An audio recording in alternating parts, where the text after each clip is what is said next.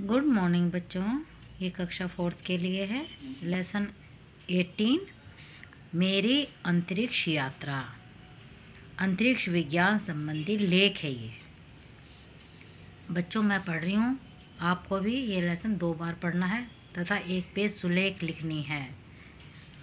मैं बचपन से ही आकाश में दूर दूर तक उड़ने के सपने देखा करता था। जब मेरी दादी माँ सितारों की कहानियाँ सुनाती थी, तब मैं पलक झपके बिना आकाश को निहारता रहता था। मैं सोचता, काश मेरे पास कोई जादुई कालीन होता और मैं उस पर बैठकर आसमान में दूर तारों के बीच जा पहुँचता। सप्तऋषि तारा समूह को पास जाकर देखता और ध्रुव तारे से बातें करना चाहता था। अंतरिक्ष यात्रा करने की मेरी इच्छा दिन प्रतिदिन प्रबल होती चली गई। मेरी मेहनत और लगन के कारण मुझे अंतरिक्ष यात्रा के लिए चुना गया। मुझे एक वर्ष तक कड़ा प्रशिक्षण दिया गया। अब वह समय आ ही गया है जब मैं अंतरिक्ष यात्रा पर जा रहा हूँ। मेरे, मेरा मन प्रसन्नता से भरा है, परंतु मन में एक कोने से, कोने में थोड़ा सा भय भी है। मुझे कप्तान का आदेश मिला है, जल्दी से तैयार हो जाओ। उड़ान में केवल एक घंटा शेष है। मैंने अपने स्पेस सूट निकाल लिया। तुम्हें बता दूँ कि यह स्पेस सूट एक विशेष प्रकार की पोशाक होती है। इस पर सूर्य और अन्य तारों से निकलने वाली हानिकारक किरणों का प्रभाव नहीं पड़ता। अंतरिक्ष यात्रा में इस पोशाक को पहनना बहुत आवश्यक है। मैं यह पोशाक पहनकर कप्तान के पास गया। उड़ान का समय हो गया है। सबकी नज़र घड़ी पर है। हम अंतरिक्ष यान के अंदर हैं। घड़ी की सुई शून्य पर आते ही यान झटका खा रहा है। लो, रॉकेट के निचले हिस्से में द्रव, इंजन, ईंधन तेज़ी से जल उठा है। नीचे की ओर से निकलती तेज आग रॉकेट रॉकेट को ऊपर की ओर धकेल रही है। रॉकेट के साथ जुड़ा अंतरिक्ष यान ऊपर की ओर चल दिया है। अब मेरा यान वायुमंडल को चीरता हुआ तेज़ी से अंतरिक्ष की ओर बढ़ रहा है। क्या तुम जानते हो कि पृथ्वी के, पृथ्वी से अंतरिक्ष तक की दूरी तय करना पृथ्वी के लगभग दस चक्कर लगाने के बराबर है? अपनी ये ध्यान देने योग्य बात है, पृथ्वी से अंतरिक्ष तक की दूरी तय करना। पृथ्वी के लगभग दस चक्कर लगाने के बराबर है। अपनी तेज गति के कारण यान लगभग 28 घंटे में यह दूरी तय कर लेता है। यान के अंदर एक टेलीविज़न लगा हुआ है। इस पर पृथ्वी का नज़ारा दिखाई दे रहा है। नीले नीले महासागरों में भूरे रंग के महाद्वीप बहुत छोटे छोटे नज़र आ रहे हैं। यह सारा दृश्य अद्भुत है।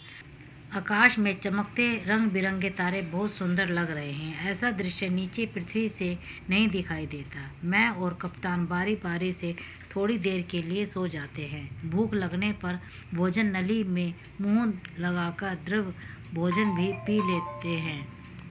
प्यास लगने लगने पर पानी भी नली से ही पीते हैं। लो हमारा यान अंतरिक्ष में जा पहुँचा है। यहाँ पहुँचते ही मुझे भारहीनता का अनुभव हो रहा है। यहाँ सीधे खड़े हो या उल्टे, बैठे या लेटे, कोई अंतर प्रतीत नहीं होता। यह तो तुम जानते हो कि पृथ्वी हर वस्तु को अपनी ओर खींचती है। इसी के कारण सब वस्तुएँ पृथ्वी की सतह पर टिकी रहती हैं। इस खिंचाव को ही गुरुत्वाकर्षण बल कहते हैं। पर अंतरिक्ष में यह बल न के बराबर होता है। खिंचाव न होने से वस्तुएँ तैरती हुई नज़र आती हैं। अंतरिक्ष में न हवा है, न पानी। यहाँ सूर्य की धूप में असहनीय गर्मी लगती है और छाया में उतनी ही ठंड। यहाँ हम गिलास से पानी नहीं पी सकते। पानी मुँह में आते ही भाव बनकर उड़ जाता है। अंतरिक्ष में प्रवेश करने, करते ही हमारे यान के कप्तान ने प्रयोगशाला के वैज्ञानिकों से संपर्क किया है। कुछ ही देर में हमारा यान प्रयोगशाला के सामने जा खड़ा हुआ है। दोनों के बीच का दरवाज़ा खुल गया है।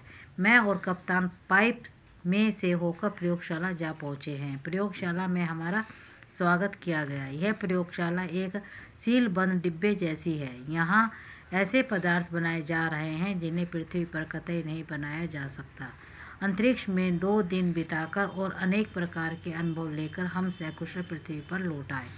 अब तो वैज्ञानिक अंतरिक्ष और चाँद पर मनुष्य के रहने के लिए घर बनाने की बात सोचने लगे हैं। आगे चलकर मनुष्य अन्य ग्रहों पर भी जाने लगेगा। भारत का यह, भारत का यान मंगल ग्रह पर सफलतापूर्वक उतर चुका है। बच्चों, अब इसके शब्दार्थ हैं।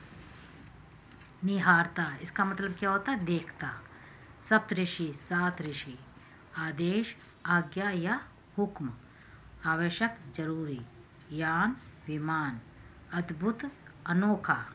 भारहीनता, वज़न न होना। असहनीय, जिसे सहन न किया जा सके।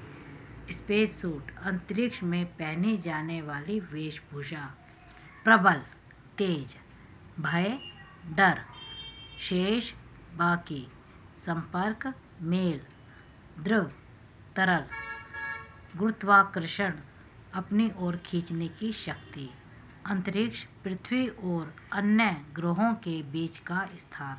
बच्चों, ये लेसन दो बार पढ़ना है और एक पे सुलेख लिखनी है। Thank you